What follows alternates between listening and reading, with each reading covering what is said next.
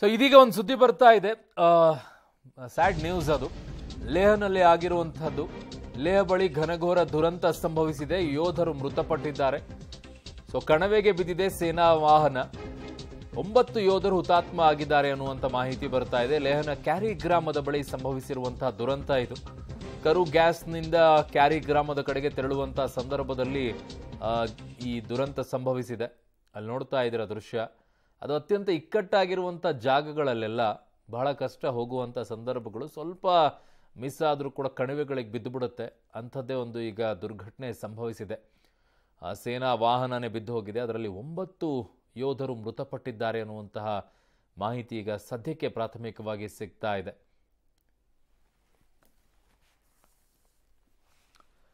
ಇನ್ನು ಹದಿನೆಂಟು ದಿನಗಳ ಬಳಿಕ ರಾಜ್ಯದಲ್ಲಿ ಮಳೆಯ ದರ್ಶನವಾಗಿದೆ. ಅದು ದೊಡ್ಡ ಪ್ರಮಾಣದಲ್ಲೆಲ್ಲ ಸ್ವಲ್ಪ ಮಟ್ಟಿಗೆ. ಕರಾವಳಿ ಮಲೆನಾಡು, ಉತ್ತರ ಮತ್ತು ದಕ್ಷಿಣ ಒಳನಾಡಿನಲ್ಲಿ ಹಲವೆಡೆ ಈಗ ಒಂದಿಷ್ಟು ಉತ್ತಮ ಮಳೆ ಆಗಿದೆ ಅಂತೆ. ಉಡುಪಿ, ದಕ್ಷಿಣ ಕನ್ನಡದಲ್ಲಿ ನೂರು ಮಿಲಿಮೀಟರ್ಗೂ ಕೂಡ ಹೆಚ್ಚು ಮಳೆ ಬಿದ್ದಿದೆ. ದಾವಣಗೆರೆ, ಕೊಡಗು, ಚಿಕ್ಕಮಗಳೂರಲ್ಲಿ ಮಳೆಯಾಗಿದೆ ಬೆಂಗಳೂರು, ಮೈಸೂರಿನಲ್ಲೂ ಕೂಡ ದಟ್ಟ ಮೋಡಗಳು ಆವರಿಸಿದ್ವು. ಮಧ್ಯಾಹ್ನದ ನಂತರ ಮಳೆ ಬಿದ್ದು ನೆಲ ತಂಪಾಯ್ತಷ್ಟೇ. ಮುಂದಿನ ನಲವತ್ತೆಂಟು ಗಂಟೆಯಲ್ಲಿ ವ್ಯಾಪಕ ಮಳೆ ಆಗುತ್ತೆ ಅಂತ ಈಗಾಗಲೇ K S N D M C ಸೂಚನೆಯನ್ನು ಕೊಟ್ಟಿದೆ. ಹವಾಮಾನ ಇಲಾಖೆ ಈಗಾಗಲೇ ಹೇಳಿದೆ ಅದನ್ನು ಆಗುತ್ತೆ ಅಂತ. ಈ ಮಧ್ಯೆ ಕಾವೇರಿ ರಾಜಕೀಯ ಜೋರಾಗಿದೆ. ತಮಿಳುನಾಡಿಗೆ ನೀರು ಹರಿಸೋದನ್ನು ಖಂಡಿಸಿ ಸೋಮವಾರ ಮಂಡ್ಯ ಬಂದ್ಗೆ ಬಿಜೆಪಿಯನ್ನು ಕರೆ ಕೊಟ್ಟಿದೆ.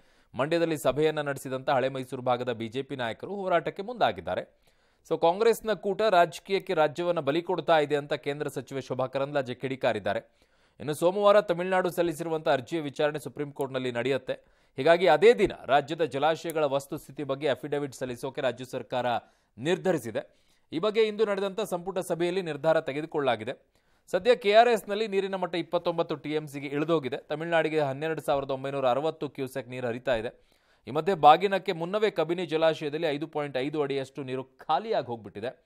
ರಾಜ್ಯವನ್ನು ಬರಪೀಡಿತ ಅಂತ ಘೋಷಿಸುವಂತೆ ಶಿವಮೊಗ್ಗದ ಸಂಸದ ಬಿವೈ ರಾಘವೇಂದ್ರ ಸರ್ಕಾರವನ್ನು ಆಗ್ರಹಿಸಿದ್ದಾರೆ.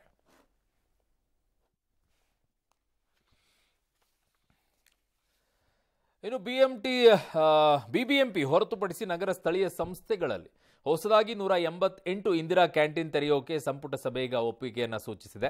ವಿಶೇಷ ಅಂದರೆ ಬಿಬಿಎಂಪಿ ವ್ಯಾಪ್ತಿಯ ಕ್ಯಾಂಟೀನ್ಗೆ ಹೋಲಿಸಿದರೆ ಈ ಕ್ಯಾಂಟೀನ್ನಲ್ಲಿ ಊಟ ದುಬಾರಿ ಆಗಿರುತ್ತೆ. ಒಂದು ಊಟದ ಬೆಲೆ ಇಪ್ಪತ್ತೇಳು ರೂಪಾಯಿ ನಿಗದಿ ಮಾಡಲಾಗಿದೆ. ಒಂದು ಊಟದ ಬೆಲೆ ಅರವತ್ತು ರೂಪಾಯಿ ಆಗಿದ್ದು ಉಳಿದ ಹಣವನ್ನು ಸರ್ಕಾರ ಭರಿಸುತ್ತೆ. ಇಂದಿರಾ ಕ್ಯಾಂಟೀನ್ ಮೆನ್ಯು ಸ್ಥಳೀಯ ತಿಂಡಿ ತಿನಿಸುಗಳನ್ನು ಆಧರಿಸುತ್ತೆ. ಲೋಕಾಯುಕ್ತ ಟ್ರ್ಯಾಪ್ ಆಗಿದ್ದ ಅಧೀನ ಕಾರ್ಯದರ್ಶಿ ಪಾಪಣ್ಣರನ್ನ ಸರ್ಕಾರಿ ಸೇವೆಯಿಂದ ವಜಾ ಮಾಡಲು ಇವತ್ತು ಸಂಪುಟ ಅನುಮೋದನೆಯನ್ನು ಕೊಟ್ಟಿದೆ. ಇನ್ನು ಗೃಹಲಕ್ಷ್ಮಿ ವಿಚಾರಕ್ಕೆ ಹೋಗುವುದಾದರೆ ದಿನಾಂಕ ಮತ್ತು ಸ್ಥಳ ಎರಡೂ ಕೂಡ ಬದಲಾಗಿವೆ ಈಗ ಆಗಸ್ಟ್ ಇಪ್ಪತ್ತೇಳರ ಬದಲು ಆಗಸ್ಟ್ ಮೂವತ್ತರಂದು ಗೃಹಲಕ್ಷ್ಮಿ ಯೋಜನೆಯನ್ನು ರಾಹುಲ್ ಗಾಂಧಿ ಉದ್ಘಾಟಿಸ್ತಾರೆ. ಅದು ಇಪ್ಪತ್ತಿತ್ತು, ಇಪ್ಪತ್ತೇಳಕ್ಕೆ ಹೋಯಿತು, ಈಗ ಮೂವತ್ತಕ್ಕೆ ಹೋಗಿದೆ. ಕಾರ್ಯಕ್ರಮದ ಸ್ಥಳ ಬೆಳಗಾವಿಯಿಂದ ಮೈಸೂರಿಗೆ ಶಿಫ್ಟ್ ಆಗಿಬಿಟ್ಟಿದೆ. ಈ ಮಧ್ಯೆ ಸೆಪ್ಟೆಂಬರ್ ತಿಂಗಳಲ್ಲೂ ಕೂಡ ಅಕ್ಕಿ ಬದಲು ಹಣ ವಿತರಣೆ ಮಾಡುವ ಸರ್ಕಾರದ ನಿರ್ಧಾರವನ್ನು ಬಿಜೆಪಿ ಟೀಕಿಸಿದೆ.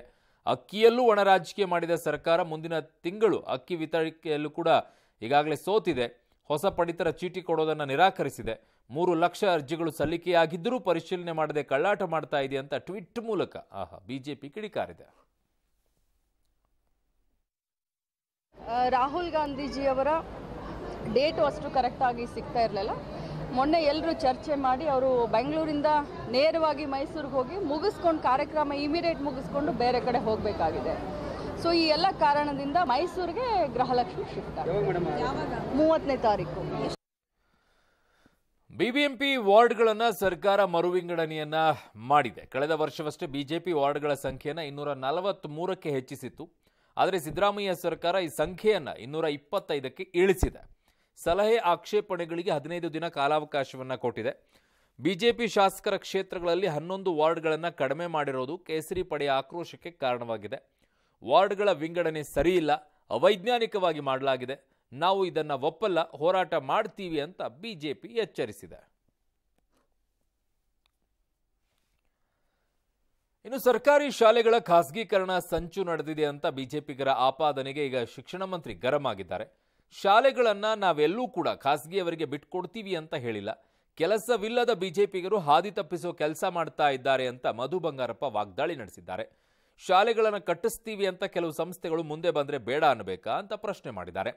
ಬೆಂಗಳೂರು ರೌಂಡ್ಸ್ ಮಾಡಿದ ಡಿಸಿಎಂ ಸರ್ಕಾರಿ ಶಾಲೆಗೆ ಭೇಟಿ ಕೊಟ್ಟಿದ್ರು. ಮಕ್ಕಳಿಗೆ ಬಾಳೆಹಣ್ಣು, ಚಿಕ್ಕಿ ಮತ್ತು ಮೊಟ್ಟೆಯನ್ನು ವಿತರಿಸಿದರು.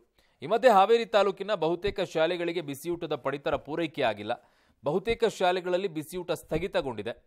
ಕೆಲವೆಡೆ ಹಳೆಯ ಸ್ಟಾಕ್ ಬಳಸಿ ಶಿಕ್ಷಕರು ಸ್ವಂತ ದುಡ್ಡಲ್ಲಿ ಮಕ್ಕಳಿಗೆ ಬಿಸಿಯೂಟವನ್ನು ಒದಗಿಸ್ತಾ ಇದ್ದಾರೆ. ತಾಲೂಕು ಮಟ್ಟದ ಅಧಿಕಾರಿಗಳ ನಿರ್ಲಕ್ಷ್ಯದಿಂದ ಹೀಗಾಗಿದೆ. ಕೂಡಲೇ ಕ್ರಮ ವಹಿಸ್ತೀವಿ ಅಂತ ಜಿಲ್ಲಾ ಪಂಚಾಯಿತಿ ಸಿಇಒ ಸಮಜಾಯಿಷಿಯನ್ನು ಕೊಟ್ಟಿದ್ದಾರೆ. ದೇಶದ ಎಲ್ಲಾ ವ್ಯವಸ್ಥೆಗಳನ್ನ ಎಸ್ ನಿಯಂತ್ರಿಸ್ತಾ ಇದೆ. ಎಲ್ಲ ಕಡೆಯೂ ಕೂಡ ತಮ್ಮವರನ್ನೇ ಸಂಘ ಪರಿವಾರ ನೇಮಿಸಿದೆ ಅಂತ ರಾಹುಲ್ ಗಾಂಧಿ ಆರೋಪಿಸಿದ್ದಾರೆ. ಸಚಿವರು ಹೆಸರಿಗಷ್ಟೇ ಇದ್ದಾರೆ, ಬೇಕಿದ್ರೆ ಅವರನ್ನೇ ಕೇಳಿ ಅಂದಿದ್ದಾರೆ ಲಡಾಖ್ನಲ್ಲಿ ರಾಹುಲ್ ಬೈಕ್ ರೈಡ್ ಅನ್ನ ಮಾಡಿದ್ದಾರೆ ಇನ್ನು ಲೋಕಸಭೆ ಚುನಾವಣೆಗಾಗಿ ವಿಪಕ್ಷಗಳು ಒಗ್ಗೂಡುವಂತೆ ಮಾಡಿದ ಘನತೆ ಬಿಜೆಪಿಯದ್ದಾಗಿದೆ ಅಂತ ಕೇಂದ್ರ ಮಂತ್ರಿ ಗಡ್ಕರಿ ಅವರು ವ್ಯಾಖ್ಯಾನಿಸಿದ್ದಾರೆ.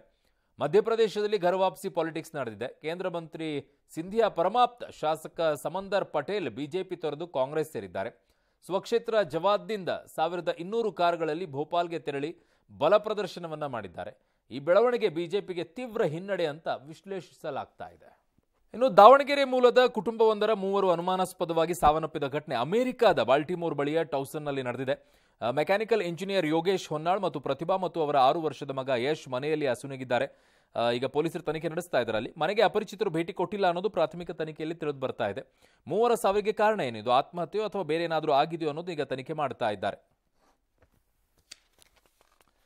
ವಿದ್ಯಾವಂತ ಅಭ್ಯರ್ಥಿಗಳಿಗೆ ವೋಟ್ ಹಾಕಬೇಕು ಅಂತ ಮಕ್ಕಳಿಗೆ ಪಾಠ ಮಾಡಿದ್ದ ಶಿಕ್ಷಕರೊಬ್ಬರು ಪ್ರಮುಖ ಎಜುಟೆಕ್ ಸಂಸ್ಥೆ, ಅನ್ ಅಕಾಡೆಮಿ ಕೆಲಸದಿಂದ ವಜಾ ಮಾಡಿದೆ. ತಮ್ಮ ಇದಕ್ಕೆ ದೆಹಲಿ ಸಿಎಂ ಕೇಜ್ರಿವಾಲ್, ಶಿವಸೇನಾ ಸಂಸದೆ ಪ್ರಿಯಾಂಕಾ ಚತುರ್ವೇದಿ ಸೇರಿ ಹಲವರು ಆಕ್ರೋಶವನ್ನು ಹೊರಹಾಕಿದ್ದಾರೆ. ಸುಶಿಕ್ಷಿತ ರಾಜಕಾರಣಿಗೆ ಮತ ಹಾಕಿ ಅನ್ನೋದು ಹೇಗೆ ತಪ್ಪಾಗುತ್ತೆ? ಇದು ನಿಜಕ್ಕೂ ನಾಚಿಕೆಗಿಡುವಂತ ಟೀಕಿಸಿದ್ದಾರೆ. ಉತ್ತರ ಅಮೆರಿಕ ದೇಶಗಳನ್ನ ಕಾಡ್ಗಿಚ್ಚು ಕಂಗೆಡಿಸಿಬಿಟ್ಟಿದೆ. ಬಲವಾದ ಗಾಳಿ ಕಾರಣ ಶರವೇಗವಾಗಿ ಕಾಡ್ಗಿಚ್ಚು ವ್ಯಾಪಿಸ್ತಾ ಇದೆ. ಈಗಾಗಲೇ ಹವಾಯಿ ದ್ವೀಪಗಳನ್ನ ಆಪೋಷಣೆ ಪಡೆದಿರುವಂತ ಬೆಂಕಿ ಈಗ ವಾಷಿಂಗ್ಟನ್ ಅತ್ತ ಧಾವಿಸ್ತಾ ಇದೆ. ಸಾವಿರಕ್ಕೂ ಹೆಚ್ಚು ಕಾಡ್ಗಿಚ್ಚುಗಳಿಂದ ಕೆನಡಾ ದೇಶ ತತ್ತರಿಸೋಗಿದೆ. ಯೆಲ್ಲೋ ನೈಫ್ ಎಂಬ ನಗರ ಪೋಸ್ಟ್ ಟೌನ್ ಆಗಿ ಬದಲಾಗಿದೆ ಈಗ. ಘೋಸ್ಟ್ ಟೌನ್ ಆಗಿ.